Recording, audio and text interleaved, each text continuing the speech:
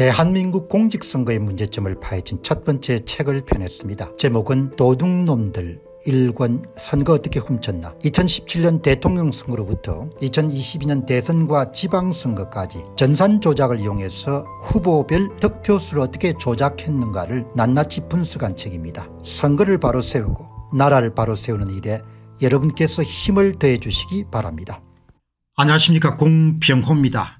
윤석열 대통령이 아주 전격적으로 우크라이나 수도를 이런 방문했네요. 예, 상당히 이제 뭐 외교적으로나 또 이런 보안상의 극비의 상황에 해당하는 내용인데 뭐 잘 하신 것 같습니다. 한번 방문해서 어려움에 처한 그런 분들에게 용기와 위안을 드리는 것은 굉장히 제가 볼 때는 뭐 야당 일각에서는 반대하는 목소리도 있지만 자유진영의 한 일원으로서 우리가 자유의 침탈과 그리고 국토의 유린과 침공에 대해서 반대한다 이런 의사를 이제 분명히 피력한 내용입니다. 침공에 우리는 반대한다 그런 내용인 거죠. 왕복 27시간이니까 굉장히 긴 시간이네요. 키우 예, 키우가 지금 우크라이나 수도지 않습니까 바이든 마이크 마크롱에 이어서 윤석열 자유연대의 상징된 우크라이나 방문 여러분은 이걸 보고 무슨 생각하셨습니까 윤석열 대통령이 이렇게 방문한 걸 두고 어떤 생각이 드셨는지 모르겠는데 저는 윤석열 대통령이 독립국가에 대한 침략 행위를 분명히 반대한다 이런 의사를 피력한 국제사회에 그런 발신을 한 그런 행사다 이렇게 봅니다. 저는 이 기사를 보면서 어떤 생각을 했는가 하니까 당연히 윤석열 대통령이 우크라이나에 대한 러시아의 이런 침공을 반대하는 것은 당연한 거죠. 그러나 여러분 지금 우크라이나의 침략뿐만 아니고 대한민국도 침략을 당한 상태지 않습니까 민주주의의 가장 근간이자 어떻게 보면 민주주의 전부라고 부를 수 있는 것이 선거입니다.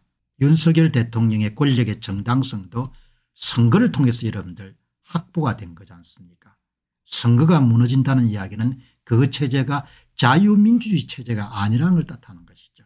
우크라이나에 이런 양복 왕복에 27시간을 투입해 가지고 윤석열 대통령이 수도인 키우를 방문한 걸 보면서 저는 윤석열 대통령이 돌아오시면 은 우크라이나가 침공된 것보다 훨씬 더 중요한 사안이 대한민국의 헌정체제가 침략당하고 있는 상태다. 한 번도 아니고 일곱 번의 선거에서 모두 다 선거 사무를 주도한 자들에 의해서 득표수가 조작된 것이다. 확인된 상태다.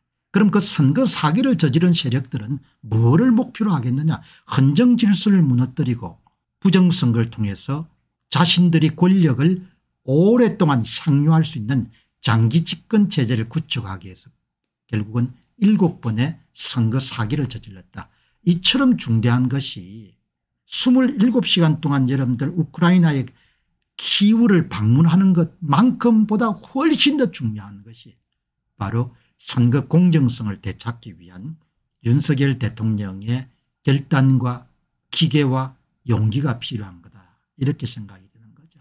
저는 이 기사를 보면서 윤석열 대통령이 내린 외교적 결단에 대해서 박수를 보내면서도 동시에 우크라이나만 침략당한 것이 아니고 지금 현재 대한민국이 침략당한 상태에 있고 그 침략당한 상태를 기꺼이 직시하고 이 문제를 해결하기 위해서 윤석열 대통령과 그리고 함께 일하시는 분들이 깊은 관심을 가지고 대한민국의 선거 공정성을 회복하기 위한 노력에 동참하셔야 된다. 그런 생각을 윤석열 대통령의 우크라이나 방문을 보면서 떠올리게 됐습니다. 아마 같은 사건을 보더라도 사람에 따라서 여러분들 그 바라보는 시각이나 관점이 다르기 때문에 의미부여가 다르죠.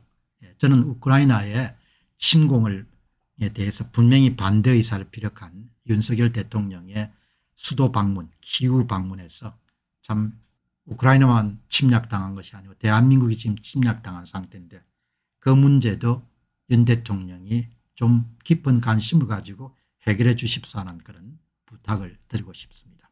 자, 여러분 오늘 바로 이 책이 윤석열 대통령이 등장하고 나서 한 달이 채 되지 않았던 상태에서 일어난 대한민국의 선거 부정 부정선거를 낱낱이 파헤친 도둑놈들 혹은 2022년 지방선거 어떻게 훔쳤냐는 책입니다.